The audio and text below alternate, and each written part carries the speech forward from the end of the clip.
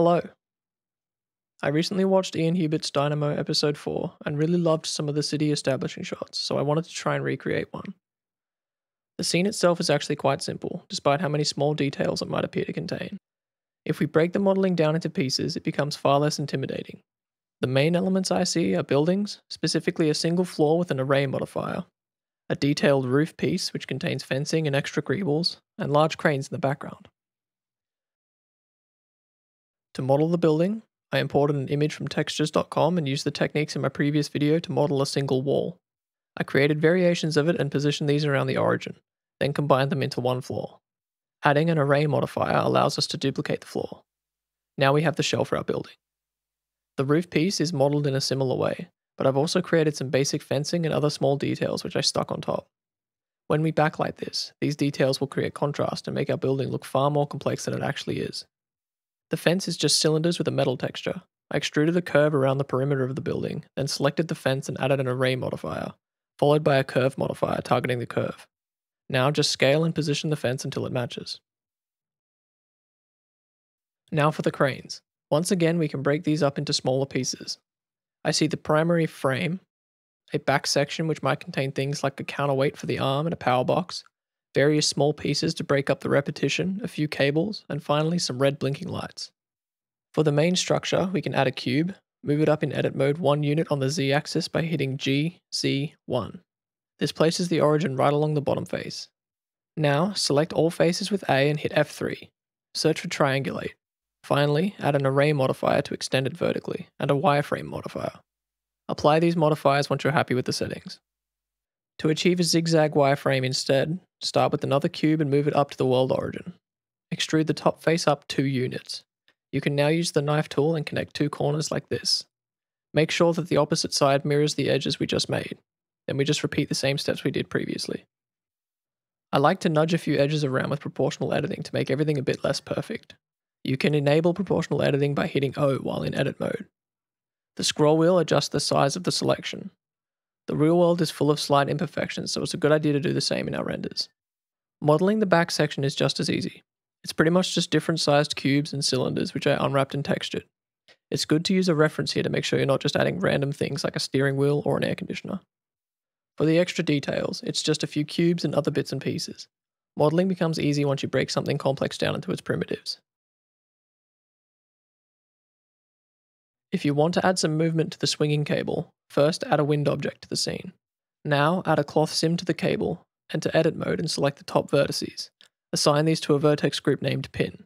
Now in the cloth properties, find the pin group option under shape and select pin. This prevents the cloth from falling down when we hit simulate. Finally, mess with the stiffness properties until it resembles a strong metal cable. It should only swing very slightly. To connect the extra pieces and make everything move together, Jump into edit mode and click a single vertex along the bottom edge of the cable. Now, while still in edit mode, hold Ctrl and left click our hook object in the outliner. Finally, come up here and select Vertex, make Vertex Parent. Now we just need to move our mesh directly on top of the cable and make it a rigid body. Make sure you check the animated box.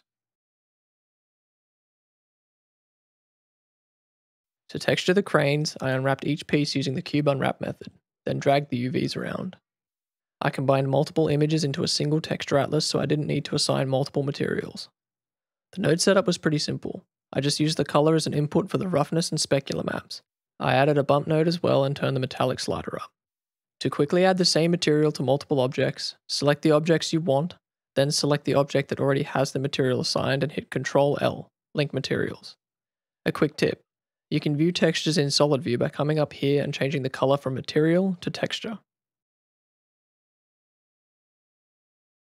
For the red lights, we can model a simple mesh. Select the glass section and create a new material and assign it. Now plug a red color into an emission shader. We can make it blink by adding a keyframe to the emission strength.